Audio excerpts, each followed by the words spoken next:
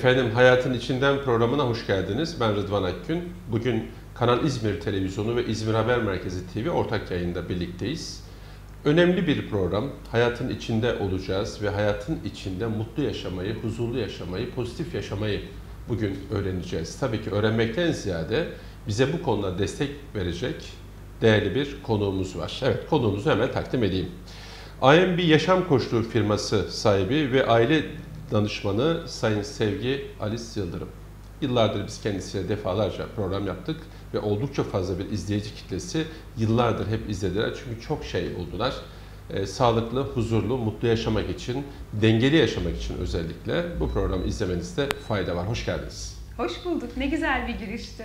evet, Hayatın İçinden e, programın ismi de. Bu programı ilk defa kullanıyoruz. İlk konumuz da siz oldunuz. Hoş Şeref geldiniz. duydum. Çok teşekkür ederim. Benim için de harika bir anı oldu. Yine Ne sizinle beraberim. Evet. O yüzden çok Hatta bir yıl başında özellikle bir 31 Aralık'ta Aynen. e, saat 12'leri gösterirken Aynen. e, biz yine insanlara yeni yılda nasıl huzurlu mutlu olması gerektiğinin e, reçetesini sunmaya çalışıyorduk sizin sayenizde. çok ses Evet. getirmişti. Evet evet Çok bayağı fazla bir izle evet fazla bir e, izleme izlenme kitlesine ulaşmıştı.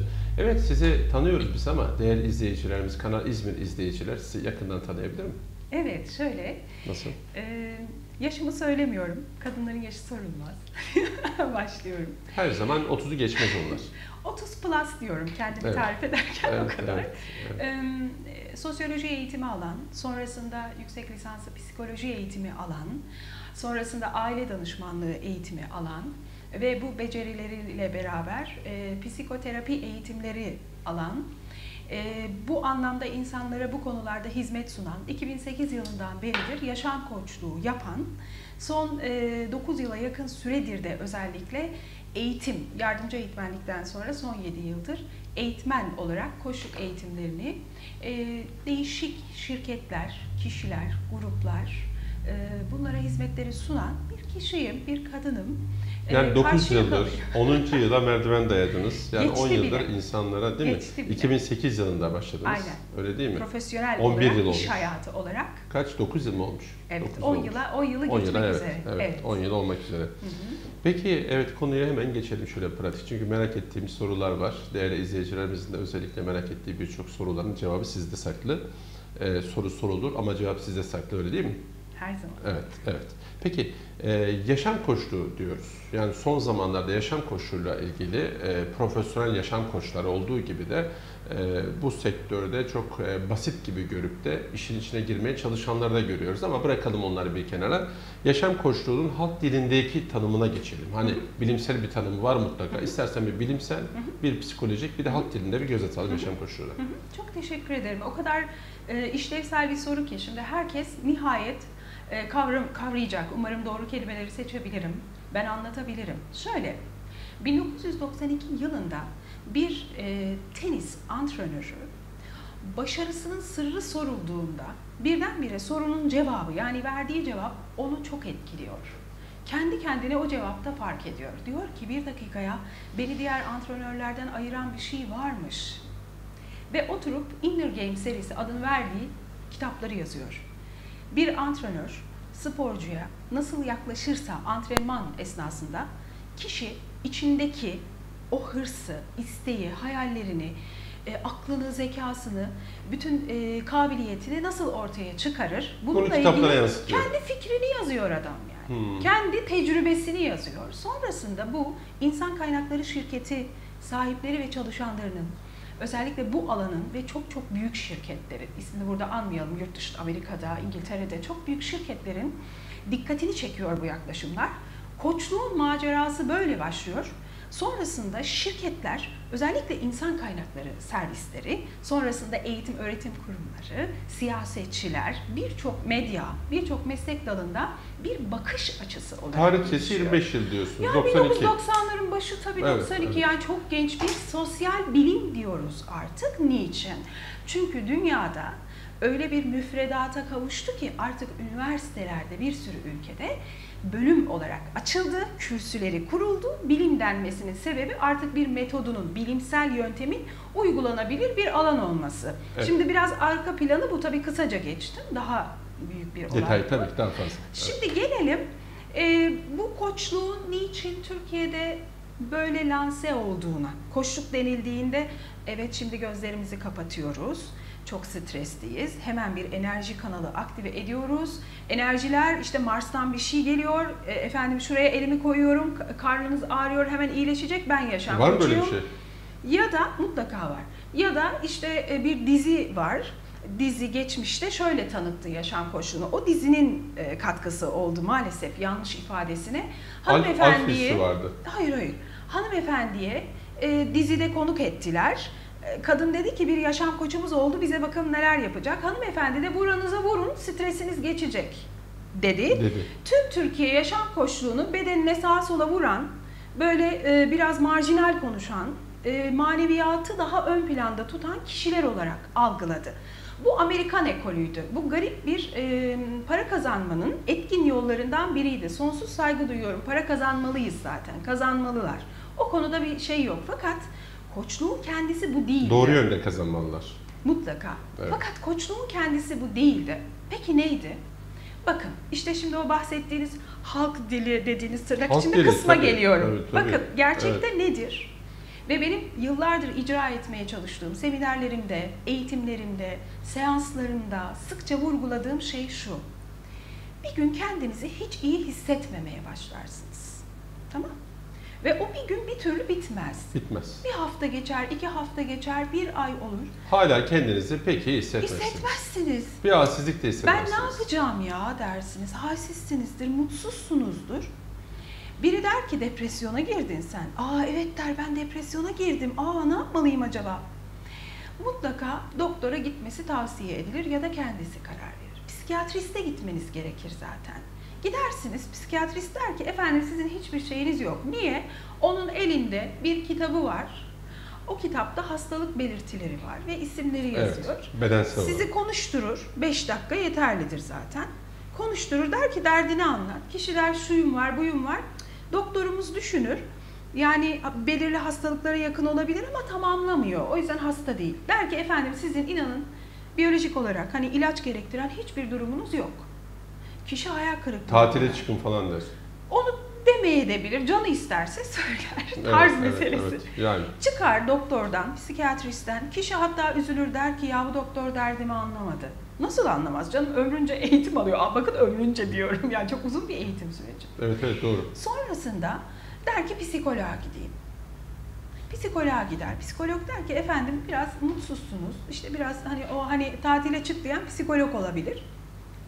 Der ki bu psikolog da benim derdimden anlamadı. Hayır. Herkes senin derdinden anladı. O da şu. Psikolojik olarak hasta değilsin. Psikolojin bozuk değil. Sadece moralin bozuk. İşte o, o süreçte Kim devreye giriyor? yaşam koçu devreye giriyor. Yaşam koçu. Peki ne yapıyor? Yani yaşam koçunun işlevi ne? Fa- ne faydası Hakikaten ne sağlıyor? yapıyor? Doktora gitti. Aynen. Ee, psikoloğa gitti. Aynen öyle. Bütün bu tıbbi olarak eğitimini şey tamamlamış, yokmuş. Hipokrat yemin etmiş kişiler bir şey çözemedi. Evet. E, yaşam- Çözemedi yaşam- değil, olsa çözecek. Ha, yaşam koçu nasıl devreye giriyor? Aynen ne yapacak yaşam oluyor. koçu? Yaşam koçuna geliyor. Böyle vuracaklar vücuttan değişik yerlerine? İşte o, o, o beni üzüyor işte. Evet. Yani e, şöyle Veya emotional, Mars'tan enerji mi gönderecekler? emotional Freedom Technical diye bir alan var. Ve o alanda dünyada çok saygın, böyle popüler e, yaklaşımlar var. Beden terapisi başlığı altında inceleniyor. O insanlara da ayıp oluyor zaten yaşam koçluğunu böyle sunmak. O EFT adı verilen Emotional Freedom Technical diye bir şey ve çok saygın, işe yarayan ve güzel bir şey. Ve transfer yapıyor. Ama sana. onu Evet. öyle algılayalım. Yaşam koçu onu yapmaz. Bu ayrımı iyi yapalım. Ha yaşam koçu der ki ben ilgi duyuyorum. Bana gelen kişilerde bu teknikler, bu popüler terapi tırnak içinde terapi adı verilen, beden terapisi adı verilen teknikler işe yarıyor kardeşim. E o zaman ben koçluğun içinde kullanırım dersen ayrı ama hakkını ver. Yaşam Evet. koçluğu o değil çünkü. Dolayısıyla yaşam koçuna geldiğinde koç diyor ki efendim psikiyatriste gittiniz mi? Evet gittim diyor hiçbir şeyim yokmuş. Psikoloğa gittin mi? Evet inanın hiçbir şeyim yokmuş. Biraz tatile ihtiyacım varmış. Biraz uyumalıymışım. O kadar. Ben de diyorum ki şimdi devreye girebilirim. Çünkü ben akıl sağlığı ve ruh sağlığı yerinde olan kişilerle çalışırım. Anlatabiliyor muyum? Akıl Çok sağlığı. Çok güzel. Yani Dolayısıyla e, ne yapıyorum? Tedaviye muhtaç olmayan, yani akıl sağlığı ve e, neydi başka? ruh sağlığı ve sağlığı, akıl sağlığı evet, yerinde. evet, evet. Peki ben ne yapıyorum? Çok keyifli kısma geldik. O da şu. Diyorum ki yaşam planınızı gözden geçireceğiz.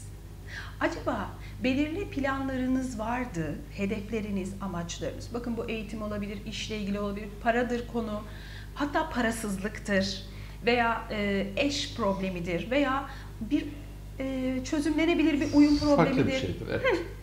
Deriz ki yaşamınızın planını gözden Kişiseldir, geçirelim. ailesevdir vesaire vesaire. Evet. Yaşamınızın planını gözden geçirelim biz. Yaşarken neyi hedefleyerek yaşıyorsunuz? Kaç hedefiniz var? E, onlara ne kadar emek harcıyorsunuz? Enerjinizi bir ay boyunca düzenli harcayan bir kişi misiniz? Sizin hayatınızda her ay tekrar eden, hedefe giden davranışlarınız neler? Gelin planınıza bakalım ve inanın planı bir açıyoruz. Haftalık, Bozuk- aylık ne bozuk plan yaptığını. çıkıyor. Bozuk bir plan çıkıyor. Bozuk ola ola ola hedef belirlemeyi bilmediği için doğru düzgün. Evet. Belirlediği hedefe yavaş yavaş emek vere vere biliyorsunuz bizde bir gecede zengin olma Doğru, hayalleri doğru. vardır. Evet, Gençlerimiz vardır. maalesef Hepsi bu anlamda zengin olur. hayal Evet. kırıklığı yaşıyor. Hep bundan oluyor çoğu kere. Hep böyle okul bitecek biz harika ücretler alıp harika işlere gideceğiz diye bir şişirme bir balonun içindeler. Gerçek hayat öyle değil. Çok acı gerçek hayat. Hayat doğru, acı. Doğru, doğru. Hayat Evet, tatlı evet, değil. Evet. Biz tatlı hale getirmeye çalışıyoruz Tatlı hayat. sadece bir kısmını. Tatlı hayat sunuyorsunuz. evet.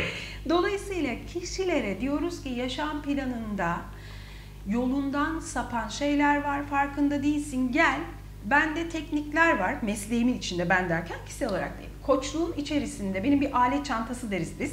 Alet Evet. çantamın içerisinde araçlar var, düşünme biçimleri Kişiye ve göre değişik teknikler. teknikler. Evet. Onu senin yaşamına uyarlayacağız.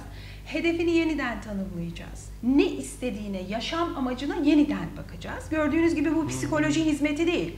Mars'tan enerji de gelmiyor. Bu arada tenzih ediyorum enerji çalışması yapan arkadaşlarımı. Ben de o alana ilgi duyan, acaba insan Ben Mars'ta takılı kaldım psikolojisi yalnız. üzerinde Mars'tan etkisi nedir diye araştıran da biriyim. Fakat herkese hakkı verilmeli. Meslekler birbirine gerektiğinde bulaştırılmalı. İlham almak için. Yani yaşam koçu enerjist değildir. Enerjist saygın, en az yaşam koçu kadar Evet. düzgün insandır. Fakat ona hakkını verelim. Onun branşı ve inanç farklı bir inanç sistemine seslenmektedir. Yaşam koçu bir inanç sistemine seslenmez. Çünkü o bilim olma iddiasında genç bir sosyal bilimdir. Amacı da aklı, e, akıl sağlığı ve ruh sağlığı yerinde olan kişilerin yaşamlarını gözden geçirmelerini sağlayarak oluşturdukları hedefe yürürken nerede hata yapıyorlar ve moralleri nerede bozuluyor ve kendilerini depresyona girmiş zannediyorlar. Öyle Bunu zannederler. Biz morali bozuk insanlarla çalışıyoruz, hastalarla değil. Evet. Peki ben hala orada kaldım. O sorunun cevabını sizden alacağım. Siz Evet. istediğiniz gibi cevabı verirsiniz ama istemediğinizi vermezsiniz. Ben soruyorum tekrar. Gerçekten Mars nereden çıktı? Mars'tan enerji geliyor mu dünyaya? Yani bu enerjiyi kullanabiliyorlar mı? Var mı öyle bir şey? Fizik Yoksa öğretmeni, sadece safsata mı? fizik öğretmenim şöyle söylerdi. Ee, Bizler e, nesneyiz ve her nesnenin bir manyetik alanı vardır. Mutlaka var. Elektriğiz yani Var. bir enerjiyiz. Evet. Dolayısıyla bu dünya için geçerli. E, Dünya dışındaki bütün oluşumlar için de asteroidler, işte yıldızlar için geçerli. Onlar da bir enerjidir. Birbirimizle bu da- bu anlamda bağlantı içinde olmamamız imkansız. Enerji temasları vardır diyorsunuz. Bu- yani bunu ben demiyorum. Bilim böyle. Fizik Evet. dersi gören Ben herkes bunu Neptün'den bilir. kötü enerji alıyorum Fakat- mesela. Neptün kötü enerjiyi kolay kolay vermez, iyilik verir. Astroloji öyle söyler. Öyle? Ben astro, astrolog arkadaşlarıma da çok saygı duyarım ve meraklıyımdır da. Jüpiter'i severim genelde ben. Şöyle bir şey var. Orta çağda, orta çağda kendilerinden önceki uygarlıklardan devralınmış olan bir takım inanç sistemleri var. Gök Doğayı- bilimi yokken. Doğayı ve Evet. dünyayı açıklamakla ilgili. Çünkü biz insanlar anlam üretme çabası içindeki Evet, törensel varlıklarız. Anlamak zorunda hissediyoruz. Doğru, doğru. Haliyle Mars da gündeme gelir, başka şeyler de gelir. Bu bir orta çağda, orta çağdakilerin kendilerinden önceki aldıkları bilgileri kendi dönemlerine uyarlayarak yaşattıkları ve kullandıkları bir dil.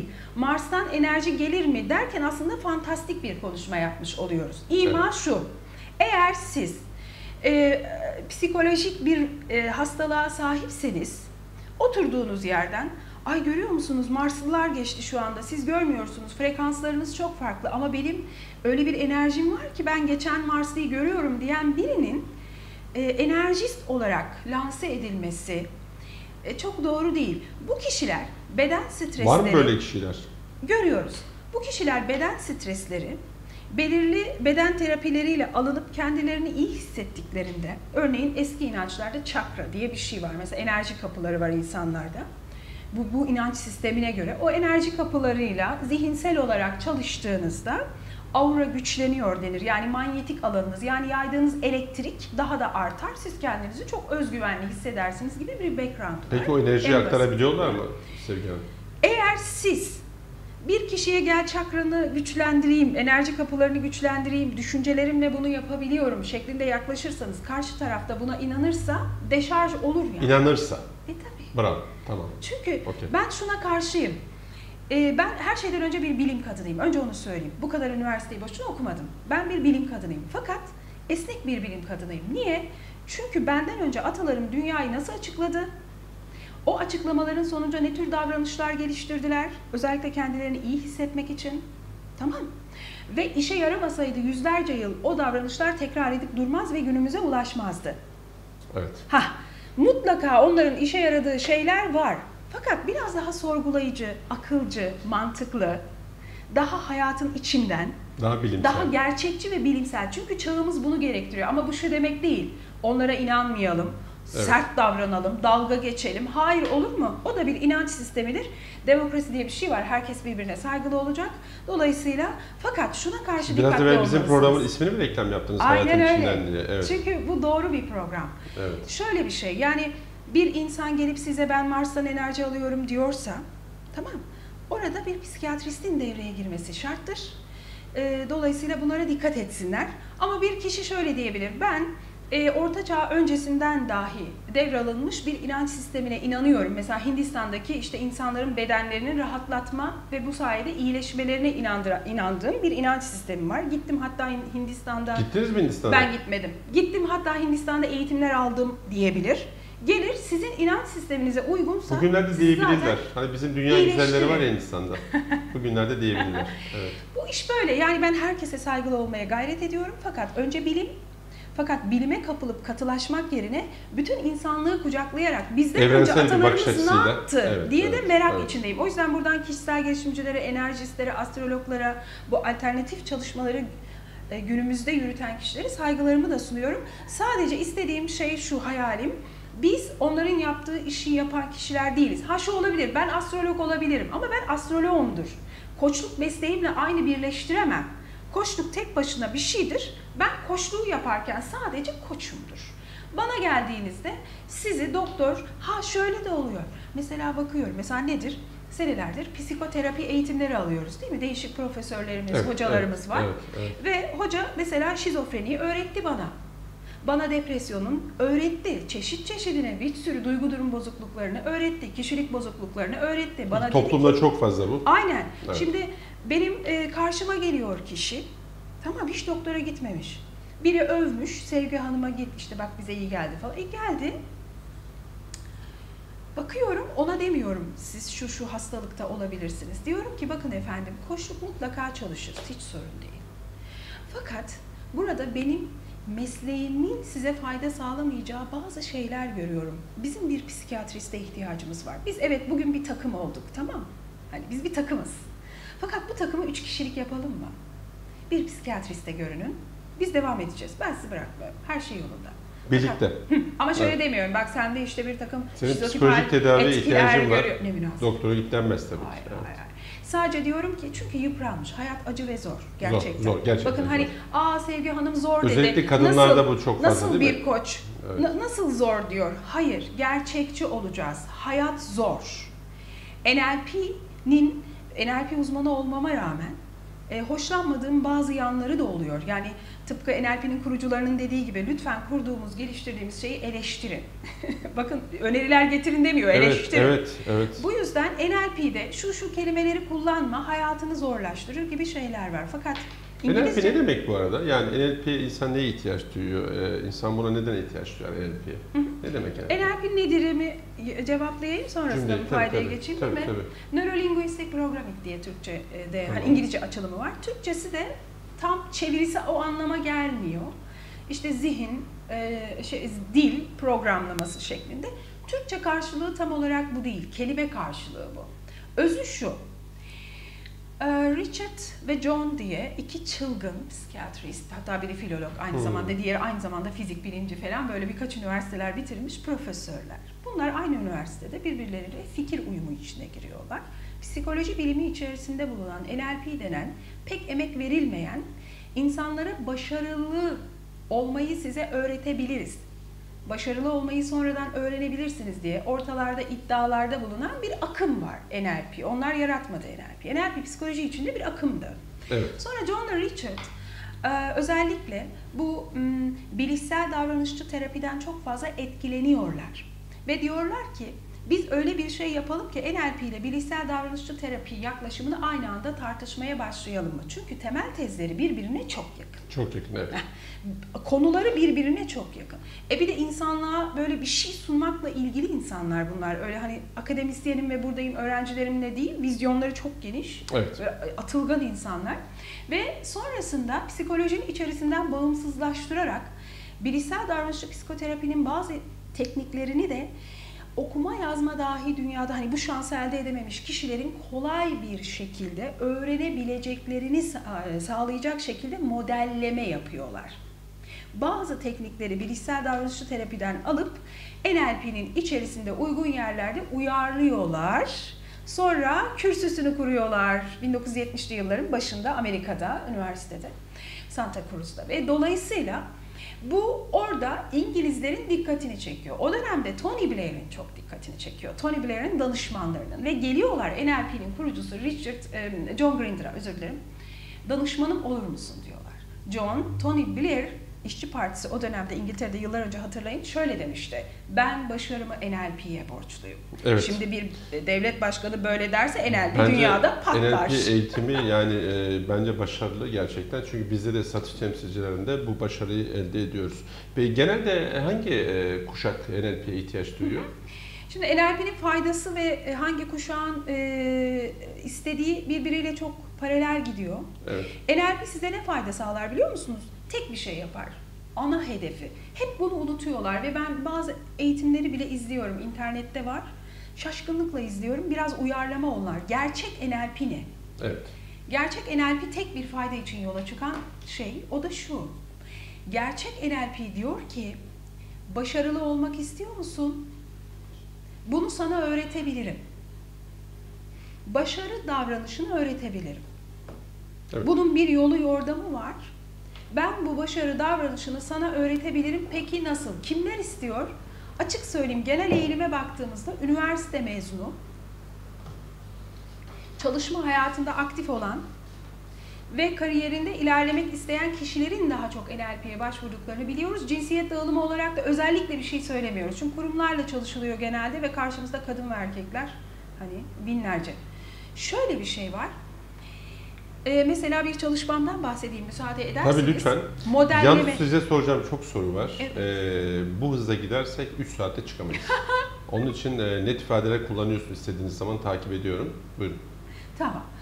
Ee, Atatürk Organize Sanayi Bölgesi Bölge Müdürümüz e, Sayın Ahmet Doğan Hüner e, kendisini çok başarılı bulduğum, çok saygı duyduğum, çok değerli bir e, insan. İzmir'de çok önemli bir şahsiyet. Bunu hepimiz biliyoruz. Bir gün ona şöyle bir teklifte bulundum. Dedim ki bir NLP uzmanı olarak Türkiye'de hiçbir NLP uzmanının cesaret edemediği bir şey yapmak istiyorum. Çünkü Türkiye'de henüz bir başarı davranışının kitabının yazıldığını bilmiyorum ben. Evet. Kendisine dedim ki bir, bir beş ay, bana bir beş ay verin. Beş ay beraber izniniz olursa hem makamınızda hem de baş başa çalışmamı yürüteyim. Niçin dedi? Başarınıza o kadar hayranım ki o enerjiye yani bakıyorsunuz bir şey var orada. Yani diyorsunuz ki bu kolay bulunan bir şey değil. Bu beyefendinin farkında olmadan öğrendiği, bildiği, yaptığı artık adını ne diyeceğim çok güçlü bir şey var ve o kadar iyi bir yönetici ki size anlatamam. Yani hayranlık derecesinde. Dedim bunu ben insanlara seanslarımda yansıtabilmeliyim. Ben NLP uzmanıysam ve iş insanları ya da yeni yönetici olmaya çalışanlar bana bu kimliği edinmek için geliyorlarsa ben buna izin veririm. Para ödediniz mi, para aldınız mı? Size ne canım? Aa, Ha, beş ay orada, beş ay orada kalmak istedinizse Size ve 5 ay boyunca e, çok e, güzel bir çalışmaydı. Başarı davranışının modelini çıkarınca ne kaldı biliyor musunuz geriye? Ne O kaldı? kadar doğal Somut olarak, bir rafine edilmiş bir ve şekilde. iyi ni- adalet. Adalet önemli. Zeminde adaletli yaklaşımı var ve zeminde insan İş hayatında adaletten bir bahsediyoruz. şey ve bir kriz Diğer adalet yürüyüşünden bahsetmiyoruz. müthiş bir kriz yönetimi. Böyle bir ve hepsinin o davranışları hangi em, arka plan dinamikleriyle yapıyor. Hepsi öyle bir O çıktı. başlı başına bir beceridir kriz yönetimi yani. O da benim de çok sevdiğimdir. Yani çok sorunlu ve zor anları yönetmeyi ben de çok severim mesela. Bu yüzden Doğan Bey'e sevgilerimizi gönderelim, Başarılı. saygılarımızı. Ee, gerçekten 105 sayfalık harika bir Bir kitap arada yazdım Doğan Bey'i alalım ilgili. bakalım e, programda. O harika e, biridir. Çok şey bir öğreneceğiz televizyona, ondan, televizyona evet. konuk olarak davet edelim. Peki e, tabii ki burada sizin mesleğinizle ilgili e, gerçekten biraz evvel bahsettiğiniz gibi gerek e, akademik eğitim aldınız, e, gerek e, küresel bu sektörün aktörlerinden çok şey öğrendiniz. Bir de en güzel şey topluma, insanlara yansıtmaya çalışıyorsunuz. E, artı psikolojik olarak, danışman olarak vesaire. Fakat bu arada piyasada hap yap, hup yap, para yap, para kap mantığında e, şarlatanlar da görüyoruz. Şarlatan diye direkt keskin konuşuyorum. Yani insanları kandırıyorlar adeta. İşte NLP uzmanıyım, yaşam koçuyum. Bir de bakıyorum çevremizde bir sürü ben yaşam koçuyum diyen, daha iki kelimeyi bir araya getiremeyen, danışman statüsünü bırakın. Devam size gelip bir şeyler soran birilerini buluyorsunuz. Peki bunlara nasıl mücadele ediyorsunuz? Bunlar sizin çalışmalarınıza engel oluşturuyor mu? Size zarar veriyor mu kısacası? Hı hı. Kesinlikle zarar vermiyorlar. Önce onu söyleyeyim. Kendi adıma konuşacağım. Diğer meslektaşlarım burada değil, adlarına konuşamam. Ben o kişilere yaklaşımım şu. Öncelikle şarlatan demiyorum. Herhangi bir sert tavır içerisine girişmiyorum. Hani kendi mesleki tutumumdan dolayı. Niçin? Çünkü şunu yakından gördüm. Süreci yakından şahit oldum. Onlara da iyi niyetli yaklaşıyorum. Bakın şöyle. Bana zarar veremezler çünkü benim ne olduğum, hani ben benim. Hangi mesafede? Ben ortadayım. Evet, evet. Yani benim kendimi anlatmama gerek yok. İşim ortada. Senelerdir İzmir'deyim, Türkiye'deyim. Altı şehirde hizmet sundum. Sunmaya da devam ediyorum. Ben varım. O yüzden hani böyle bir şey olarak görmüyorum. Sadece tutumum şu.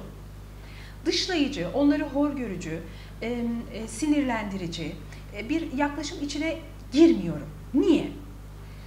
Şunu gördüm. Biri bir gün çok kötü hissediyordu kendini. Tamam, psikiyatri ilaçları alıyordu. Fakat yine de yeterli gelmediğini düşünüyordu. Ve birçok kişiye gitmişti. Sonra bir gün bir şifacının kapısını çaldı. Çalabilir. Şifacılar vardır. Bu bizim eski Şifacı bir yöntemi. neci? Dokunarak, elle Ha, anladım, kişiyi iyileştiren, iyileştirdiğini Sözde iddia mi, eden. gerçek mi? Eğer siz birine dokunuyorsanız karşı taraf evet artık karnımın ağrısı geçti kaç gündür hiç ağrımıyor diyorsa o onların O gerçekliğidir. oluyor. Evet. O onların gerçekliğidir. Yani şifacılık gerçek midir sorusu kişilik kendi uzmanlığı kişi arasındadır. Ona e, benim alanım olmadığı için haddim değil konuşamam. Herkes haddini bilmeli çünkü. Evet. Nasıl ki herkes yaşam koşulu hakkında Hayatta, ahkam hayatta kesemezse öğrenilmesi gereken herkes en güzel şey nedir? yani. Herkes haddini bilecek. Yani. haddini bilecek. Çünkü nasıl ki ben bir başkasının alanı En çok neyi üzerinden ahkam kes haddimi bilirim. Ha, tamam. Şöyle tamam. bir şey. Geliyor mesela şifacı dokunuyor. Kişinin inanç sistemi de uygun ve kişi psikolojik olarak kendini çok hmm, donanılmış enerji olarak rahatlamış hissediyor ve gidiyor diyor ki ya bu çok iyi bir şey. Ben de öğreneyim. Benim de enerjim Aa. yüksekmiş. Bu bu şeye aldığıma göre ve gidip kurslara kayıt oluyor. Belirli bir ücret ödüyorsunuz. Sonra size sertifika veriyorlar ve size iyi gelen şeyin başkalarına da iyi geleceğini düşünerek iyi niyetli bir şekilde o alana öyle giriyorlar. Ve şifacı oluyorlar. Toplumda buna şifacı mı diyorlar? de e, denebilir. Enerjist deniyor, şifacı deniyor. Genelde hepsinin adı toplumumuzda reikici oluyor. Ben ona çok Ama şahit bir şey oluyorum. Ben Siz, reiki siz bilmiyorum. bunu söyleyince Ama benim aklıma geldi. Ben de şifacıyım o zaman. Çünkü ben de insanların barınma sorununu çözüyorum. Daire satışı yapıyorum, veriyorum. İnsanları e, mutlu ediyorum. insanların Şifa etine dokunuyor musunuz? Etine. Tabii tabii el sıkıyoruz, dokunuyoruz, parasına da dokunuyoruz. Yani sonuçta yönetiyoruz yani. Şifacılığın değişik bir alanı Değişik, olabilir. ekonomik yönü şifacılığı. Ben evet. haddimi bilirim, o meslekte e, Peki, bilen tamam. konuşsun. Ben şu an Tamam. bilim kadını sıfatımla buradayım. Şimdi şöyle bir şey, başka sıfatlarım da var yani. şöyle bir şey, e, iyi niyetli olarak diyor ki, ya bu bana iyi geldi, benim gibi olanlara ben de hizmet sunayım. Ve iyi niyetli olarak başlanıyor. Fakat bakın buradaki bütün o hani sizi kızdıran, toplumda bunlar zarar veriyor galiba dediren kesim, o enerjistler, şifacılar, kişisel gelişimciler değil. Bazen o alanın dokusu şizotipal hastaları, paranoid şizofrenisi olan hastalara, şizofren olan hastalara açık bir yer. Yani siz birine dokunarak karın ağrısını geçirmek demek belki de o anne sıcaklığı olarak bilinç öncesinde bilinç bilmiyorum. Hani bir süreçte algılanıyor olabilir. Değil mi? Ben hani psikiyatrist değilim. Bu alanda şimdi ahkam kesemem. olabilir, evet. Ama mesela bir anda beden kendi annesinin bir, bir dokunuşunu hissedip o anda o şefkati almış ve iyileşmiş olabilir. Bakın ne güzel. İyi ki var şifacılar o zaman. Bize annemizi bulamadığımızda onlar dokunsun. Orada bir derdim yok. Derdim şu. O kadar mistik gelebiliyor ki siz şizotipal bir hastayı ya da paranoid şizofreni olan bir hastayı ya da halüsinasyon görmeye eğilimli Evet. olan herhangi hani hastalı hastalardan birini bunu mistik bulup bunu anlamlı bulup bu alana girmesi çok kolay. Yani Evet. sizin o sizi kızdıran, toplumda belirli kesimlerin tepkisini çeken kişiler aslında psikiyatri tedavisi görmesi gereken, bundan belki haberi olmayan, Evet.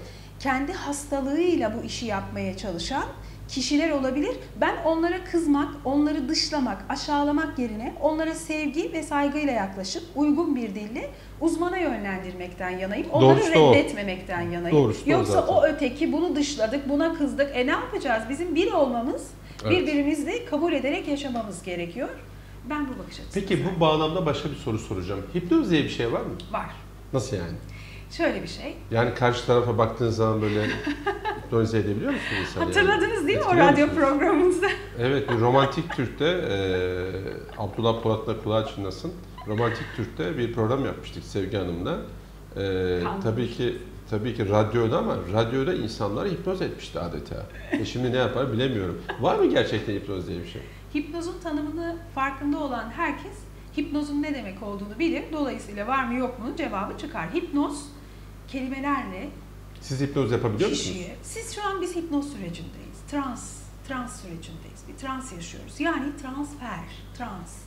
Birbirimize Yani beni şu ekranda hipnoz edebilir misin? Hipnoz edebilir misin? Şu an siz beni ben size ediyorum. Konuşma başladığı an dünyanın neresindeyseniz, Evet. kimseniz, her kimseniz hipnozu başlatırsınız. Hipnoz telkin demektir. Peki ekranda Telkin değerli izleyicilerimizi hipnoz edebilir misiniz? Yani şu ekrana bakarak e, biraz terapiye geçebilir miyiz hipnozla ilgili? Yani bir canlı performans yapabilir miyiz? Kameranız burada buyurun. İstersen direkt e, değerli izleyicime yönelik bir konuşma yapın istersen Şu an hipnozla ilgili. yapıyorum. Evet. Şu an şöyle, hipnozla ilgili tabii ki bir konuşma yapayım. Üç, üç temel ses tonunuz var sizin. Kısık, orta ve yüksek ses. Ve siz ne zaman cümleleri şöyle devam ettirirseniz e, hipnotik değeri artar konuşmanın. Hipnoz konuşmayla başlayan bir şey. Yani hipnoz seansı bir problemin çözümüyle ilgili uygun ses tonu ve sessizlikte konuşmadır. E, Normal şu anda yaptığımız da hipnoz. Dolayısıyla hipnoz kelimelerle başlıyor. Şimdi size bir teknik öğreteyim mi? Basit. Hadi neyse kırmayayım. Tabii lütfen. Bana öğretmeyin Her bilgi her yerde herkese verilmemeli felsefem olduğu için temkinli yaklaşıyorum. Çünkü o size zarar verebilir. Şöyle bir şey. Bir insanla konuşuyorsunuz ve onu ikna etmeniz gerekiyor.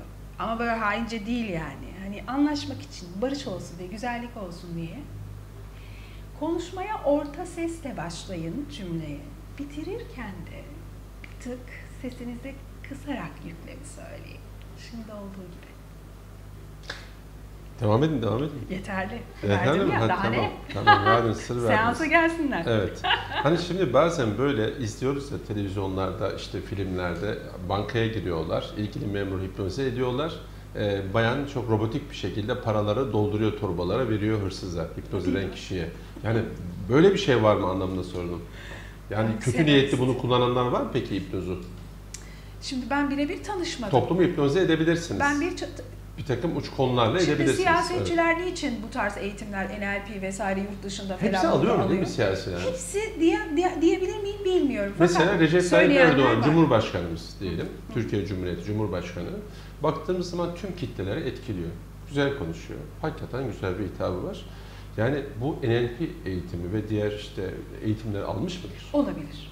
Çünkü videolarını bazen analiz etmek için sadece onun değil birçok e, kişinin yerli yabancı hani e, üst düzey yöneticinin e, analiz ederiz biz. Kimin alıp almadığını da biliriz. Sakın bana isim sormayın. Sakın. Yani Devlet. Bahçeli e, almış mıdır? Söylemeyeceğim, söylemeyeceğim. Çünkü İsim yok. biraz... Şöyle Evet. bir şey var. Evet. Şuradadır hinlik. Hinlik şurada. Demin size öğrettiğim strateji var ya. O strateji, Bana o ses öğretmediniz tonuyla- sadece çünkü Ya, tüm Siz izleyicilere biliyorsunuz, siz Evet. biliyorsunuz zaten. İşte öğrettiğim şey orta karar ses tonuyla bir şeyi anlatmaya ritmik olarak başla. Sonrasında hemen sesi kız ve devam et. Bakın. Şimdi bu şekilde konuşmayı öğrendiyseniz Sonra tonu nefesiyle. Bakın trans şöyle bir eğri elimle Tabii. göstereyim. Şöyle bir akış var var, benim var, konuşmamda. var. Diyafram nefesini iyi kullandığım evet, için. Onlar evet. da öyle. Bu kişiler eğer bu konuşma stratejisinin üstüne anlatmaya çalıştıkları şeyleri dinleyicilerinin hayal edebileceği görselleri uyandıracak, tadı kokuyu uyandıracak kelimelerle konuşuyorlarsa Vurgularsa, siz o kişiyi zihninizde hayalini kurdura kurdura dinleyebiliyorsanız o kişi kesinlikle eğitim almıştır. Evet. O yüzden anlayabiliyorum Yani yani anladığım şöyle anlamda. çöl sıcağında e, susuzluktan neredeyse ölmek üzere olan birisinin birden böyle buz gibi bir meşrubatla karşılaştığı toplumda o içeceği içme duygusunu uyandırdığı gibi bir şey diyorsunuz yani. Önerim hemen içmemeleri. Ani geçişler iyi değil. evet öyle diyorsun. Uzlaşarak ve uyumla. Evet. Peki toplumu hipnoz etmek kolay mı o zaman? E, bakın ne güzel ediliyoruz. E, kolay mı? Yani siyasilerde çok rahat yapabiliyor mu bunu? E, uzman olarak evet mümkün. Yani Evet. bilimin bana bu, bunun var mı mümkün burada dünya liderleri içerisinde bunu çok iyi başaran, gözünüze takılan birisi var mıdır? E, özellikle bazı videolar YouTube'da izlemiştim. Evet. Clinton'ın bazı videoları, e, Obama'nın bazen konuşurken gözlerini e, kısması. Mesela o zaman tiyo vereyim mi seyircilere? Clinton'da Monaco olayı akla geliyor. Yani Monica. etkileme olayı. Evet. Monica. E, Hanım. onun da zaten bir kurgu olduğunu Evet. düşünüyorum. Obama'da Şöyle ise şey şey, olarak merdivenlerden inerken ellerini şu şey- şekilde sallaması apayrı bir şekilde. Turgut Özal'ın kalemi ekranı sallaması. Aynen öyle ve birçoğunun ve şu var, tiyoyu vereyim o zaman. Ne zaman bir siyasetçiyi şöyle dalgın bir şekilde karşı tarafa bakarak ister kamera olsun o, isterse sizin gibi saygın Şu anda bir dalgın sunucu. bakıyorsunuz bana. Dalgın bir şekilde bakıyorsa kişi kendini transa sokmuş, kendi transına girmiş. Çünkü herkes kendi transına girer zaten. Karşı tarafı da davet Transına ediyor. girmiş, Evet. kendini konuşuyor, kendini okuyor. O kadar ritmini tutturmuş ki onun etkisinden kaçamazsın ve onun et- onu etkilemek de kolay değildir. Takip ettiğin ve izlediğin müddetçe. Siyasetçiyi dalgın bir şekilde ekranda konuşuyorken gördüğünüz an bil ki ekrandan önce hipnoz teknikleri %90 uygulanmıştır. Kişi, kişi transta konuşuyordur. Evet. Sakin bir ses tonuyla. O yüzden ondan yavaş sürpriz yavaş. ve şaşırtıcı bir tepki duyamayacaksınız. Evet. Yani bu önemli şeyler. Yani kozmik olarak sizinle temasa mı geçmiştir? ne bileyim ben. Ama şu bir gerçek. Sana sesimi gönderebiliyorsam sendeyim. Senin sesini duyabiliyorsam sen de bendesin. İkimiz birbirimizin sesini duyuyorsak yakınız. Yakınsak birbirimizi etkiliyoruz çünkü ilgiliyiz. Peki telepati, telepati ne demek? Etkiliyorsak bir ilişki oluşuyor demek. E, telepatik sistem ve iletişim nasıl oluyor peki? Ona yakın bir şey o zaman. Sessizli telepati Şimdi öyleyse. uzmanı değilim. Fakat okuyup hani gördüğüm bildiğimiz kadarıyla telepati işte alo diye telefonla söylenen şeyin zihinsel olarak yapıldığının iddia edildiği bir alan. Var mı öyle bir şey? Hiç Ee, mü? onu? orta çağ gördüm. Bir Maya rahibinde gördüm açıkçası. Ha, gördüm derken okudunuz. denedim. Yok hocam e, hocalarımdan biri Maya rahibiydi. Ben eski inançları öğrenmek isteyen biriyim. Ama Maya takvimine inanacak olursak dünya Yok inanın inanmayın. Ben inanmıyorum mesela ama Evet. bu öğrenmeme engel değil. Tabii ki öyle. Mutlaka. Yani yaptığım iş gereği değişik inanç Öyle. sistemlerinden Evet. çok insanla karşılaşıyorum ve kendim inanmasam bile birçok şeyin eğitimine gittim zaten. Gideceğim de. Çünkü insanlar çeşitli. Benim işim gereği de onların inanç sistemlerini anlayıp kavrayıp onlara yaşam planlarında yardımcı olmak olduğu için Evet. Haliyle benim öğretmenlerimden biri uzun bir süre e, Maya rahibiydi ve ondan öğrendiğim şeylerle onların bakış açıları, motivasyonları, kültürleri çok farklı, bakış açıları çok farklı. Bizim gibi bakmıyorlar. Fakat üzerinde denenen bir şey etkileyiciydi. İnanıp inanmamam bir şey değiştirmez. Etkilendim, etkileyiciydi. Yani zihnimdeki şeyin o anda karşıda e, söylenmesi, renk, şekil, kişiler, olay etkileyiciydi. Ama bu bizim buna kapılıp bunu bilimin çağında öne çıkararak, aklı yok sayarak aslında işte bin yıl öncesine geri dönelim, dünya o zaman daha güzel diye bir şey yok. Hayır şuna emin olun dünya var olduğundan beri yaklaşık 200 bin yıldır bizim Homo sapiens sapiens olarak düşünen insan olarak burada olduğumuz söyleniyor, var olduğumuz. 200 bin yıl olarak söyleniyor. Söyleniyor. Evet. İnanın 200 bin yıllık tarihimizdeki en iyi dönemi yaşıyoruz. Değil mi? Dünya. Sadece farkındalığımız Evet, arttığı için gerçeğin acı dokusuna daha yakın olduğumuzu hissediyoruz. Bakın gerçeğe yaklaşan depresyona yaklaşır. Bunu hiç unutmayın. Depresyona Gerçek yaklaşan. her zaman acı ve zordur. Doğru bravo. NLP ne Bravo. derse desin. Zor değil, kolay değil de. Sen psikiyatri vakası isen, bakın ben de eskiden öğretirken öyle öğretirdim ama yıllar geçince ve eğitimler artınca, deneyim, tecrübe artınca şunu fark ediyorsunuz. Hayal dünyasına itmemeliyiz insanları. Kolay değil kelimesini, zoru kullanma, kolay değil de- deri psikiyatri tedavisi gören birine dediğinizde işe yarıyor. Evet. Ama sağlıklı biri zor diyebilmeli, cesaretli olmalı. Bu anlamda biraz farklılaşıyorum diğer ekollerden. Haliyle gerçekte kalmalıyız, akılcı kalmalıyız, mantıklı ve bilimsel olmalıyız. Fakat bu annelerimizin ve onların annelerinin, atalarının iyileşme yöntemlerini, inanç sistemlerini aşağılayacağız, ezeceğiz, dalga geçeceğiz. O falcıydı, bu şöyle diyeceğiz. Hayır, böyle bir şey de yapmayacağız. Çünkü bizim atalarımız onlar.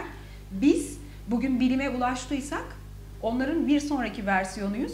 Bizim datamız onlar. Saygı duyacağız. Bileceğiz de inanıp inanmamak bize kalmış. Ben hep bu bakış açısındayım. Doğru bakıyorsun. Peki stresi nasıl yöneteceğiz? Ha, Stres var. güzel. İnsanlar bu şimdi Türkiye'ye baktığımız zaman dünya gerçekten de küresel anlamda e, dünya 200 bin yıldan bu yana belki en iyi İnsan dönemini için. yaşıyor. İnsan, İnsan için için ama 4,5 İnsan milyar yıl yaşıyor. yaşında Canlı olarak gezegen. insan olgusunu ön Tabii plana alalım. bunu bilin. Bunu Ve tartışmak insanların- isteyen olursa sosyal medyada tartışırım. tabii yani. ki tabii ki insanlar e, stresli bir dönemden geçtiğini iddia ediyor.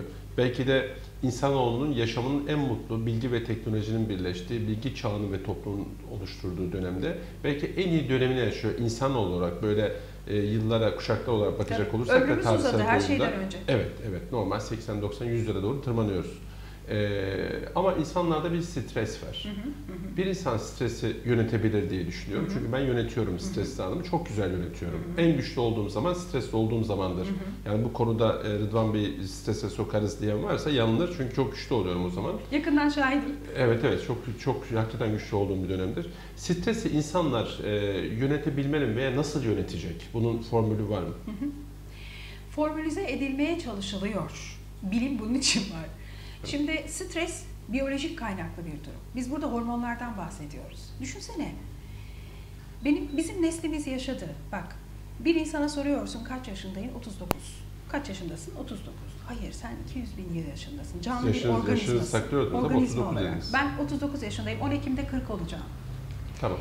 40'layacağım. Hayır konuşmanın başında anlatırken söylemiş, söylememiştiniz. Evet. O an içimde bir şey söyleme.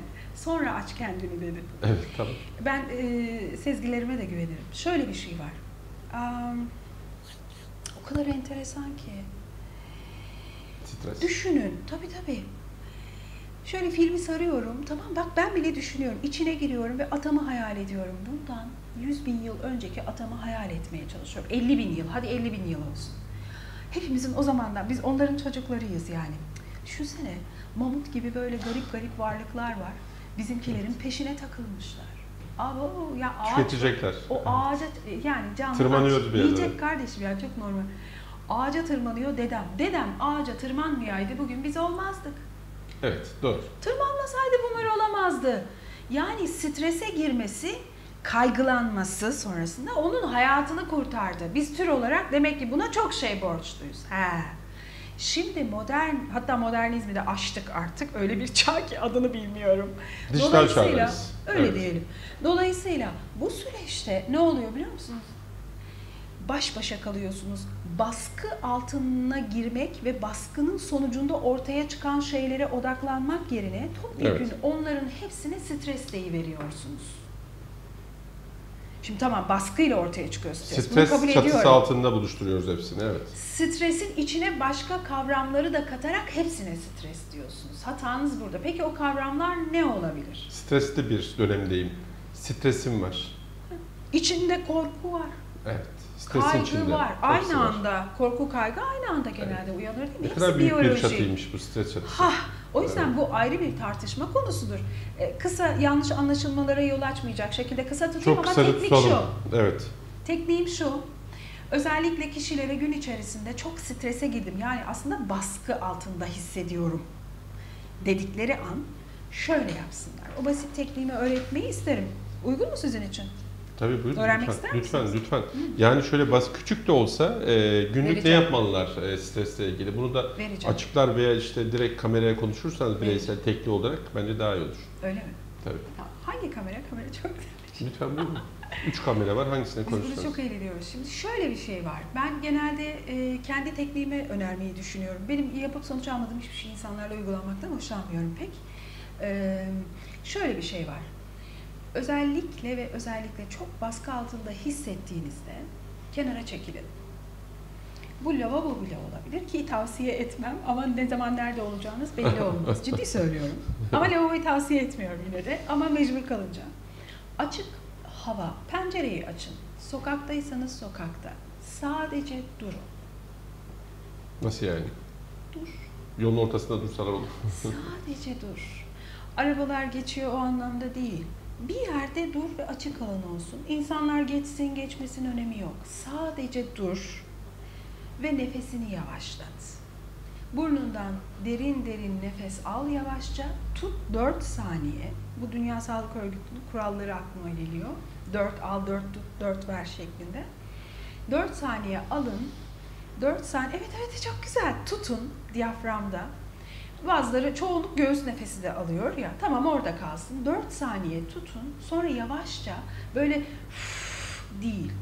Kafanız şişer, başınız ağrır. Nefes öyle üflenir mi ya? Ateşe üfler gibi. Hayır. Ağız ortasından kendinizi rahat bırakarak. Çok basit. Doğa- doğal akışında bırakacaksınız. 10 kere falan yapın. Bende çok işe yarar. Başka insanlarda yarayacağı, yaradığını gördüm ve sizde de yarayacağına eminim. O yüzden Kesinlikle sadece faydalı. durun. Ama ilk telkini hatırlayın. Size dur dedim. Durun. Dur. Dur. O anda başka bir şey düşünme. Yok düşüneceksin. İstemesen de aklına geliyor ki. Bir insan nasıl düşüncelerini durdurabilir? Böyle bir şey olabilir mi? İki dakika düşünmeye Hiç başladım. meditasyon yapmadınız mı? Nasıl durdurabilirsiniz? Hani meditasyon Türkiye'de de çok yanlış öğretildi. Yani girmiştim birkaç eğitim aldım. Çok meraklıyım. Hani nedir? Öğrendim. Hatta kendi şu anda öğretebilecek düzeyde bile şeyim yani. Bayağı hoşuma gitmişti. Başka programda onu Bana konuşuruz. dinlenmeyi öğretti ya. Meditasyon iz- öğreten kişilere çok teşekkür ediyorum. Meditasyon derin dinlenme demektir. Stresi yine yönetebilmek için meditasyon çok büyük şirketler niye aldırıyor Derin dondurucu. Mistik bir şey sanılıyor bu Evet. arada meditasyon. O da çok tuhaf yani. Değil Alakası aslında. yok. Size dinlenmeyi öğreten stratejileri olan bir yaklaşım. Ee, onu da öneriyorum. Meditasyon öğrenebilir insanlar. YouTube'da bir sürü eğitim videoları var. Oradan da öğrenebilirler. Peki Sevgi Hanım son e, günlerde bir şey ilgimi çekiyor. Siz kendinizi gitgide kendinizi rakip gibi görüyorsunuz ve kendinizi aşmaya çalışıyorsunuz. Yani biraz evvel bahsettiğiniz İlkokul gibi. öğretmenim bana hep böyle derdi. Yani hep kendinize rekabet halindesiniz gördüğüm kadarıyla ve hakikaten son e, sizinle yaptığımız programlar sonrasında da e, sizi daha farklı düşünce içerisinde devamlı gelişen, değişen, farklı bir bakış açısı olan ama kibiri asla olmayan bir şekilde görüyorum. E, son zamanlarda bak meditasyonla bahsettiniz. Aslında onun da bir eğitimle verebilecek boyutta olduğunu bahsettiniz. O da aslında çok önemli bir konu. Fakat e, önümüzdeki günlerde Eylül, anı, e, Eylül ayında da özellikle bir semineriniz var sizin. 10 Eylül'de. Evet. Cinsellikle ilgili de e, toplumu bilinçlendirmeye çalışıyorsunuz. Aslında belki çok önemli bir konuya vurgu yapıyorsunuz. Toplumumuzda belki cinsellikle ilgili birçok evliliklerin yıkıldığını görüyoruz. E, toplumun cinsellikle ilgili e, gençlerin sırf cinsellik için evlendiğini, aşk sevgi olmadığını görüyoruz. Yani birçok insanlarda özellikle.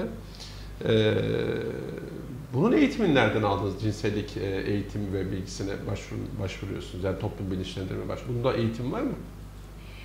Ee, cinsellik eğitimi diye özellikle bir eğitim hani bir e, psikoterapist isterse cinsel psikoterapi e, öğreten bir kişi uzmanlara ya da ilgililere eğitim ya da workshoplarla öğretebilir. Ama bunun bunun ama psikolojik e, yaklaşımları Şimdi e, bir psikologların yapıyoruz. alanında Evet. zaten bu ve de Tamam. sosyologların da alanında. Şimdi her iki gözle Ama de size de gece- Yani stres yönetimi, NLP ve yaşam koçluğu aslında bir bütün bana göre. Aynen öyle. Yani güzel bir e, sentez oluşmuş diye görüyorum. Aynen evet. öyle, aynen öyle. Şimdi o 10 Eylül'deki seminerimde İzmirlilere e, şunu anlatacağım. E, bir tiyatro sahnesinde Boyoz Akademi'de semineri. herhalde Aa, yaparsın değil mi? teşekkür ederim. Karşıyaka'da. Evet Karşıyaka'da tiyatro sokağında. Komşum ben de tiyatro sokağındayım. Eylül. Ofisim. Boyoz Akademisi Karşıyaka, Evet saat Ee, 13'te başlayacak. evet. Teşekkür ederim. Arabacılar Sokağı değil mi? Ee, tiyatro sokağı. Ha, tiyatro Hı hı, sokağı, tamam. Tiyatro sokağında Karşıyaka? Çarşı'nın içinde 13'te başlayacak. 13'te. Yarımda insanları almaya başlayacağız. Evet. Bir tiyatro sahnesinde sunacağım. Bu benim için çok hoş. Çünkü yaklaşık bir yıldır İzmir'in büyük sahnelerinde seminer sunmuyordum. Kitabıma çok yoğunlaşmayı Bir yıl hedefledim. sonrasında belki bir de tiyatro başka eğitimler de alıyordum. Bayağı doludu. Evet. Hatta televizyonculuğu biliyorsunuz ara verdim sırf eğitim ve kitap yüzünden. Öyle bir hatta birçok ben özür de diliyorum çok televizyoncu. Aa bu arada haberiniz yok. Size evet dediğim için ne mesajlar aldım. Gerek İstanbul'dan ulusal kanalda çalışan bazı arkadaşlarım gerek İzmir'den dostlar. Neden bizim kanallarda bizi çıkmıyorsunuz da Rıdvan işte Bey'in İzmir'de, özelliği. yani İzmir'de bir web televizyondan mı çıkıyorsunuz diye bahsettiler. En kıymetli televizyon artık web. Kesinlikle. Şunu öyle. söylediler. Evet. Niçin birini kabul ettin? Rıdvan Bey niye? Niye bir şey mi var? İş mi yapıyorsunuz? Beraber gibi bile diyen bile oldu. Açık açık söylüyorum. Siz açık Demişler. bir insansınız. Yelda Hanım demiştir bunu. Hayır Yelda'cığım bir tane o çok çalışkan bugünlerde çok yoğun. Evet. Sevgilerimi gönderiyorum Yelda Selamlar Çetiner dostumuza. E şöyle bir şey arkadaşlarıma da buradan topluca söyleyeyim. Yok özel bir anlamı yok. Ben kendime bi- biz de koçuz. 5 yıllık planlar haz- hazırlıyoruz ve her bir yılını denetliyoruz. Benim e, özellikle 3 yıl içerisinde herhangi bir televizyon programına bir kere bile olsa çıkmama gibi bir kararım vardı ve ben kural koyarsam uyarım. O kadar. Bunu bozdun. 3 yılım bitti, bozmadım. Bitti, ha başladı bitti. süreç. Aa evet doğru. 3 yıl mı oldu? Yaklaşık evet. evet evet. Dolayısıyla hani bu böyle. O yüzden bir anlamı yok. Hani size özel bir tepki değildi. Ha, tamam çok Ee, teşekkür yoksa ederiz. e, bu, şunu söyleyeyim yani ben bir televizyoncuyum aynı zamanda ve her zaman ekran karşısında. Şimdi şu var. E, soruyu tekrar hatırlamamız gerekirse ben ne anlatacağım cinsellikle? Şunu belirteyim yani gelip orada ben size efendim şöyledir, cinsellik şudur, şöyle yaşayın demeyeceğim. Tabii Benim anlatmaya değilse katılmaz yok. olur. Yani, Yani mesaj verin sadece. fakat mesajım şu. Cinsellik bizim için niye bu kadar önemli? Ve bu önemli olan şey hakkında bilmediğiniz o kadar çok şey var ki işinizdeki performansınızdan tutun. Hedef oluşturamama, yaşam amacı edinememe gibi hani gerekli olan bir enerji var değil mi depomuzda? Onu dışarıya akıtacağız ki somut şeyler üretelim. Ama somut şeyler bize dolaşıp geri dönsün ve kaliteli bir hayatımız olsun. Doğru. İş, evlilik, aile yaşamı, çocuk ilişkileri, eğitim, kariyer, kendinizle olan ilişkinizde cinsel enerjinin ne olduğunu ve nasıl kullanacağınızı anlatan, içinde daha çok sosyoloji olan, çünkü toplumda nerede kullanacaksınız? Tabii tabii tabii. Çünkü önemli. cinsellik denince sadece işte kadınla erkeğin Salt özel mahrem anlamda Tabii birleşimi ki. algılanıyor. Tabii tabii tabii. Bunu yıkan bir yaklaşımla geliyorum. Onu da içine alıyorum ama hedefim o değil. Hedefim cinsel enerji gerçekten ne? Ne? Ve biz bu cinsel enerjiyi nasıl kullanabiliriz? Daha çok sokaktaki hayatta. E, nerede bu Önemli enerjiyi kullanacağız? Onlara değineceğiz. Yoksa cinsel suçlar, yok cinselliği şöyle yaşayın konu o değil. Toplumda bir Ama özgüven eksikliği var ama değil mi? Toplumda bir özgüven eksikliği var ama değil mi? Yani Bizim konusunda. toplumumuzda ne var biliyor musunuz? ne var? Özgüven eksikliği dediğiniz doğru. Ben onun arkasına bakarım. Eğitim. Eğitim kesinlikle. Eğitim problemimiz Eğitim. var. Bakın öğretim Peki aileler eğitim. çocuklarına cinsellik eğitimi e, vermesi gerekmiyor mu? Vermiyor mu? Yani e, bilgilendirmiyor mu? Aslında vermesi gerekmiyor mu? Küçük Ayıp mı bunlar? Küçük bir şey söyleyeyim mi? Evet. Bakın burada sosyolog oluyorum şimdi ki benim tezim, bitirme tezim de siyaset sosyolojisi üzerinedir. Bunu da belirteyim yani çok severim de. Şimdi o, o cepheden baktığımda şu var. Siz eğer, siz derken tenzih ediyorum. Toplumdaki belirli hani kişilere, geleneksel yaşamın belirli kısımlarını ısrarla sürdüren, Evet.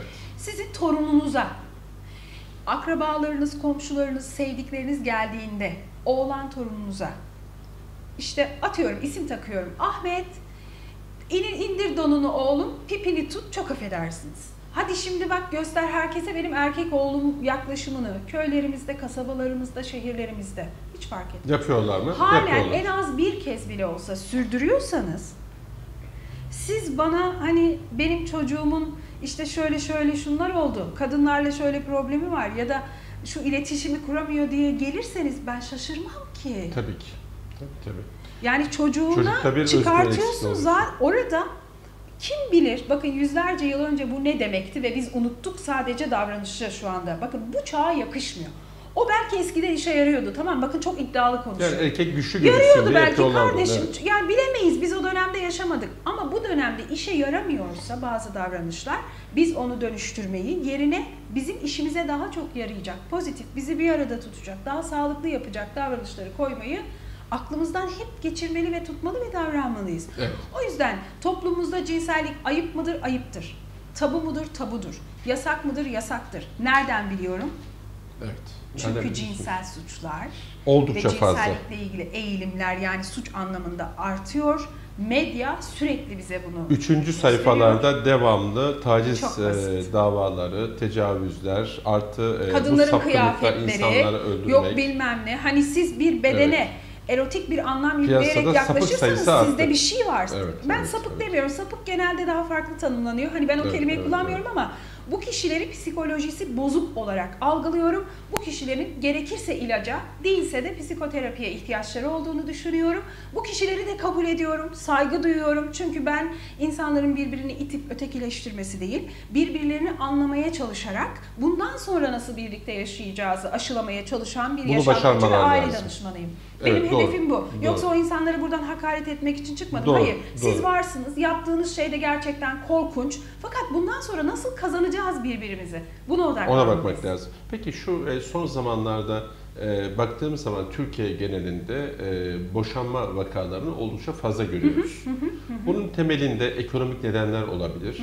Ama belki topluma anlatmadıkları cinsellik nedenler de var mı? Yani siz eğitim vereceksiniz de buradan bir iki kup girmiş Tabii. olalım. Çok güzel. Hatta insanlar biraz şaşıracak belki. Bu yaklaşımı sokakta, restoranlarda işte tanıştığım insanlarla paylaşınca pek şaşırıyorlar. Belki izleyici, izleyenler bile şaşırabilir.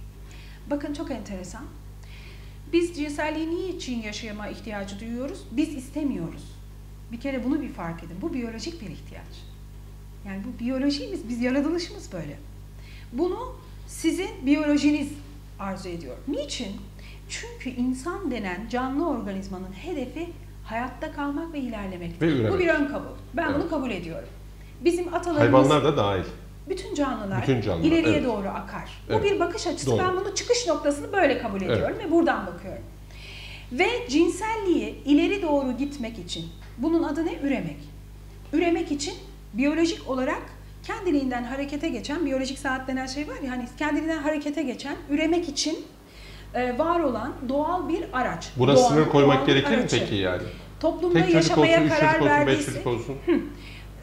bunu ben insani bulmuyorum. Ee, bir insan Doğal üreme lazım, hakkını da kullanabilir, kendine bağlıdır. Ürememe hakkını da. E, bir insan ben üremeyeceğim diyorsa üremez. Kimse ona Doğaya bir şey karşı mı diyemez. gelmiş olacaklar yani? Yo, günümüzde artık kavramlar değişiyor. Yo, eskiden olsa belki öyle konuşurduk. Ya tabiatına karşı davranıyorsun kardeşim derdik. Ama şimdi deme hakkımız da yok. O bir kişi aklı var, zekası var, iradesi var, bir karar alıyor ve kendini bağlıyor. Ekolojik olduğu sürece, Evet. hiçbir şeye zarar vermediği sürece de gayet de normal bir şey. Gayet normal. Doğru. Dolayısıyla üremek ileri gitmek için var. Evlenmek sonradan cinselliğin töreni olarak ortaya çıkmıştır. Biz cinselliği toplumda derli toplu yaşayabilmek için sonradan adına evlilik dediğimiz törenleri icat etmek zorunda kalmış zeki varlıklarız. Evet. Bu tören seks törenidir, cinsellik törenidir. Evlilik törenleri ayindir. Cinsellik için yapılan ayinlerdir. Biz sonrasında işte binlerce yıl içerisinde şekillendi ve bu hale geldi. Bu ayinlerdeki ana amaç ne? Cinsellikte evlilik ayin niye oluyor? Çünkü türümüzün hayatta kalmasını, ömrümüzün uzamasını ve çoğalmamızı hedefliyoruz. Bu yüzden örgütlendik. Sosyoloji böyle bakar. Biz örgütlü varlıklarız. Evet. Dolayısıyla evliliği kullanarak na, ne yarattığımızı bilmiyorduk 50 bin yıl öncesinden bu yana özellikle son 13 bin yılda. Meğersem sonradan adına Türkçe'de, İngilizce'de family, Türkçe'de aile diyeceğimiz yapı oluşacakmış meğersem. Evet. Evet. Bugünkü Evlilik, konu. biz hayatta kalalım, ömrümüz uzasın, kısacası güvenli yaşayalım diye doğal olarak, ihtiyaç olarak oluşturduğumuz cinsellik organizasyonudur. Tabii medeniyet çerçevesine almışız bunu. Evlenirsiniz, aynen evlenirsiniz ama aile olmazsınız. Evlenince aile olunmaz. Evlenince aile kurulmaz. Ne olur? Sadece cinsellik organizasyonu üremek için örgütlenmiş olur. Adı konmuştur. Bu iki kişi düzenli olarak cinsellik yaşar. Eğer biyolojik bir sorun yoksa hamile kalınır işte. Çevresinde çocuk çocuk, doğar. halkaları doğar. Evet. Çocuk doğduktan sonra cinsellik desteklenmez. Çocuk doğar doğmaz evlilik biter, aile yaşamı başlar. Ve adam şöyle der. 5 yıl önce harika bir cinsel hayatım vardı.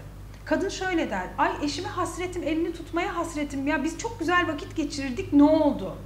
Bunun yüzünden kavgalar çıkar. Çocuklar Adam kadına araya. aşık olmadığını düşünebilir. Kadın der ki kocam beni artık ilgi çekici bulmuyor. Adam der ki eşim beni ilgi çekici bulmuyor. Bu kadın hiç benimle ilgilenmiyor. Hep çocuk çocuk Peki ev çocuk. boşanmaların nedeni de bu da mı var? Birçok sebebi olabileceği Evet. gibi benim bakış açım sosyolojik olarak buradan Aldatma çıkış çok yaptım. fazla Buradan- bu arada. Yani aldatma fazla olduğundan dolayı davalar. aldatma Evet. mümkün değildir demiştim. Biraz marjinal bir şey söylemiştim ve uzun uzadıya açmıştım. İnsan doğası gereği çok eşlidir.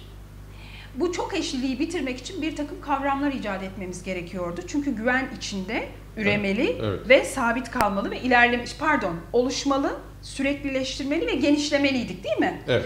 Dolayısıyla doğamıza doğamızı zorlayan bir tören içine girdik. Evleniyoruz işte saat sadakat kavramı ve sa- sadakatin dışındaki kavramlar üretildi. Sadakatin karşısında aldatma kavramı var. Hani Türkçe düşüncede düşündüğünde ki dünyanın bir- birçok dilinde de bu böyledir. Kandırılma olarak da ifade edilir, yalancılık olarak da. Şimdi siz eğer e, cinsel amaçlı evliliğe başlamış ve bu cinsel enerjiyi evliliğin aileye dönüşme sürecinde iyi organize edebilmişseniz aile yapısı gereği cinsel ilişkiyi desteklemeyen bir oluşumdur. Seminere gelince öğrenirsiniz. Tabii seminere girince Aile bence. olursa sevişemezsiniz. Aile Evet. olduğunuz kişiyle yatamazsınız. Bakın çok açık konuşuyorum. Allah Web televizyonu ya gayet rahatım. Neyse, neyse. Bu evet. yüzden başka insanlar çekici gelir. O yüzden lütfen eşinizle evli kalmaya çalışın. Çocuk doğurun ama çok sonra aile olun olur mu? Ya da aile olacaksanız Hemen çocuk bile düşünmeyin bu diyorsun cinsel yani. enerjiyi gerçekten farkında olarak iyi organize edin. Bu yüzden aldatma dediğiniz şey tamamen türü tehdit eden bir davranış olduğu için tüh kaka yapıyoruz. Türü niye tehdit ediyor? Yahu sen zaten kendinden öncekilerden devraldığın kıyafetlerin, toplumsal rollerin gereği türü yaşatmak için cinselliği organize ettin. Evlendin, dünya evine girdin. Dünya evi hani insan için o zaman başlıyor yaşam. Niye? Çünkü türü Yani dünya ilerletiyor. evi derken kalp çizdiniz böyle. Türü, Bak dünya aynen. evi. Türü ilerletiyorsun çünkü. Evet. Niye bu ilerlemeyi tehlikeye atıyorsun diyor. Aldatan insan, aldatan denilmesinin ve dışlanmasının sebebi aşağılanmasının sebebi bu. Burada bu anlamda bu konuda yüzünden acı çeken erkekler ve kadınlar, gayler, translar hani diğer bütün cinsiyetlere hepsi eşit ve saygı duyuyoruz. Bütün o dostlarımız izlerken ya bu kadın bir dakika aldatmayı meşrulaştırdı falan gibi algılamasınlar. Başında karşı meşrulaştırmıyorsunuz. gelen benim Evet. Sadece ben her zaman özgür düşünmeyi çok seven, her açıdan bakmaya çalışan biriyim. Aldatmamalıyız. Niye? Çünkü türümüz tehlikeye giriyor. Benim için de türümün e, ilerlemesi önemli. Tabii ki Dolayısıyla aldatmayın. Bir şey varsa ortada partnerinizle paylaşın ve Paylaşın çözün. ve İşte en bu kadar. güzel ya da nasıl başladıysanız aynı Çünkü heyecanı- insanları kandırmayalım. Aynı heyecanı yaşayın. Peki son sorum olacak. Ee, bu kadına şiddet olayı son günlerde oldukça fazla. Bu Hep toplumsal fazlaydı. Top, Evet. Tabii tabii yani artık böyle iletişimin çok yoğun olduğu bir dönemde daha fazla belki yansıyor. Ama e, biraz evvel sizinle yapmış olduğumuz yaklaşık e, 68 dakikalık sohbetimizde e, birçok vurguda e, bu nedenleri görebiliriz zaten insanoğlunda.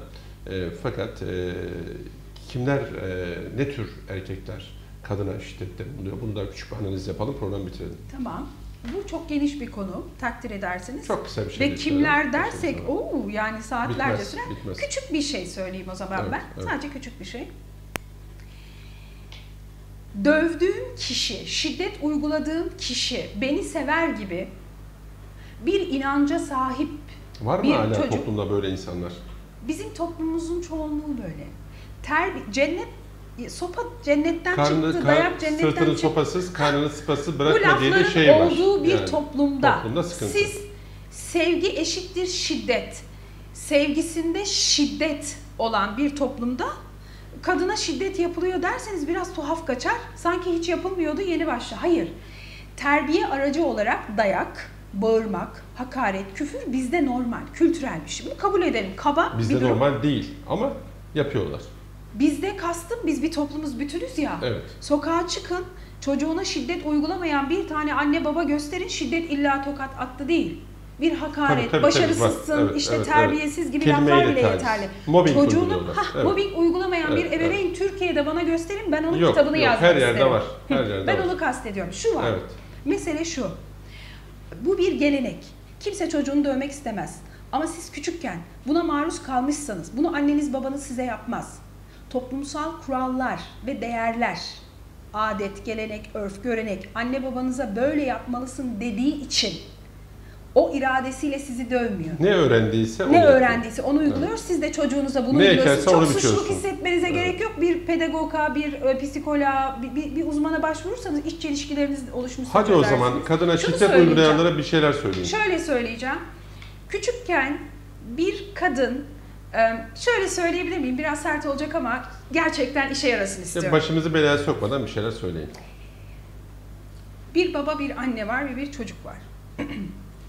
baba, baba anneye şiddet uyguluyor. Örneğin bağırıp dursun. Bağırıp dursun. Hakaret ediyor, sinirleniyor.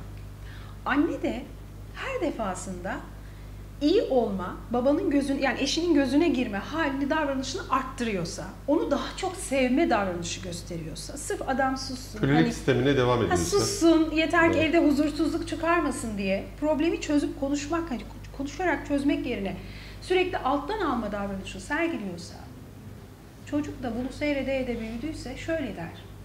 Bir kadın beni babama, annemin babama yaptığı bu sevme, ilgilenme, işte saçını okşama, yemeğini daha özen gösterme, bir yemek pişirme mesela işte pişirir, işte bana daha itinayla bakar, bana daha güzel sözler söyler. He, demek ki Bu bir erkek böyle olmalı. Bir erkek kadına böyle yaklaşırsa işte o zaman kadın onu Hem önemser severim ve hem döverim falan. Yani Bu yüzden Türkiye'de ne denir? eğitim yapılması lazım. Yumuşak, duygusal erkekler kadınlar tarafından çekici bulunmaz. Maço erkekler. Maço erkekler bu inanç kalıbı gerçeklik payı olmakla beraber artık çürütülmesi gereken hayır kadınlar eğitimli aklı başında duygu kontrolü hani nerede nasıl davranacağını çok iyi bilen erkeklere ihtiyaç duyarlar. Onları da yetiştiren bir kadındır. Buradan annelere sesleniyorum. Kitap okuyan, kadını anlayan, kendini düzgün ifade edebilen, eğitime önem veren, akılcı erkekler. Doğru eş seçmek gerekiyor o zaman öyle değil mi? Doğru Kadınlar. eş yoktur. Doğru iletişim kurulmaya çalışılan kişi vardır. Herkes herkesle anlaşabilir. İnanın iddiam bu. İnanın bak ha ruh sağlığı, akıl sağlığı yerinde olan. Akıl sağlığı herkes yerindeyse. herkesle ruh Tabii, sağlığı tabii, yerinde. tabii. Normal insanlar Bu bir anlaşabilir. iletişimdir diyorsun. Yeter ki karşı Evet. tarafın iletişimde en çok kullandığı, ikna olduğu yöntemini belirleyin. Ona ulaşırsınız. Kitabınız ne zaman çıkıyor Yaşam Aa, Koçu yakaladı. kitabınız? Kitap bitti. Şöyle biraz evvel yani bunu kitap yazmakla falan dediniz hatırlattınız bana. Onun için unutmuştum. Son olarak o zaman kitap bitti. Ee, bu Ya kitap satıldı bitti mi yoksa yazdınız mı? Bu kitap Hangisi? 6 senedir yaklaşık üzerinde çalıştığım bir performans. Çünkü 6 yıldır... Kaç sayfa çıkarıyorsunuz? Ha, söylemem bayağı. Ee, Türkiye'deki bütün koçluk kitapları tarandı. Halen çıkanları takip ediyorum. Şunu şunu yapmak istedim. Olmayan ne var? Çünkü benim kişiliğim öyledir. Yani ben tekrardan hoşlanmam. Bir fark olmalı. Artıları atayım Bir koyayım. fark biraz, olmalı. evet. Olmayan ne var? Bir, toplum halen bu mesleği bambaşka bir şey sanıyor. Bunu anlatabilmeliyim. İki, koçluk ne işe yarar çok iyi anlatabilmeliyim. Ve o kitapta okuduğunuz zaman bir, koçluk derslerinin müfredatlarında kullanılmak üzere yazdım. Önce bir ders kitabı o. Yani koç olmak isteyen, mesela bir koç öğretmeni var. Sevgi Alice Yıldırım'ın ismini vermeyeyim. Şu kitabını satın alacaksınız dedirtmeliydim. Tabii. İsmi ne? Aynen Yaşam öyle koçluğu oldu. mu? Say Ha söylemeyeceğim. ismi belli değil mi? Belli. Abi ya Çıkınca belli. Anladım. DNR'da tamam. görürsünüz. Ha anladım tamam. Dolayısıyla e, şu anda ve özellikle İngilizce Türkçe olarak da yayınlanacak. Yani iddialı bir kitap.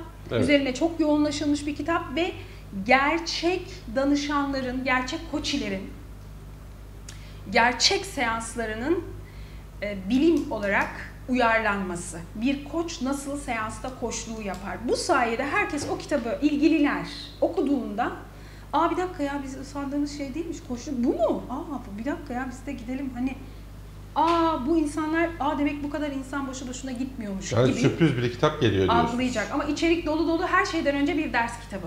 Evet, hayırlısı olur inşallah. Kitabınız çıkar, biz de e, ilgili e, kitap evlerinden alırız. Ondan sonra okuruz keyifle. Yani sizin e, hediye etmeniz değil, biz paramızı verir, basar alırız. Yani size de destek vermiş oluruz. Ben hediye almayı çok seviyorum. Bu yüzden hediye verme ihtiyacı hissediyorum. Ha, peki, o Bu zaman programda benim hediyem olmuş olsun. Çok teşekkür Ben de ederim. size olun. kitabımı bütün ekibinize severek imzalayarak Çok hatta kendim getiririm. Benim e, için çok da büyük keyif olur. Her Çok yerde olmak hoşuma Bu gidiyor. Aktif aldık, olmak. Ne güzel. Hı hı. Çok teşekkür ediyorum ben Peki size. ben de çok teşekkür ediyorum. Sürçülisan ettiysek affola. Bazen şakalaşmayı çok seviyorum. Bazı kelimeler ağzımdan çok rahat Estağfurullah biz de çok öyle. biz de, biz de biz de öyle çok rahatız. Keyifli bir sohbetti. Ben size başarılar diliyorum. İnşallah başka bir programda sizinle ya hayatın içinden ya gündem özelde tekrar birlikte oluruz. Görüşmek çok teşekkürler, üzere. başarılar. Teşekkürler. Evet değerli izleyiciler konuğumuz e, Sevgi Alice Yıldırım. E, sizin de izlemiş olduğunuz gibi e, sağlıklı, huzurlu, mutlu yaşamanın sırlarından küçük ipuçları verdi. Aslında günlerce, haftalarca konuşulacak, tartışılacak. Bu bir eğitim süreci sonuçta. E, zaman alacak gibi gözüküyor ama biz kısaca yaklaşık 70 dakikada her şeyi bitirmeye çalıştık. Evet, yayında emeği geçen tüm arkadaşlarım adına e, kendisine teşekkür ediyorum. Tekrar görüşmek üzere, hoşçakalın.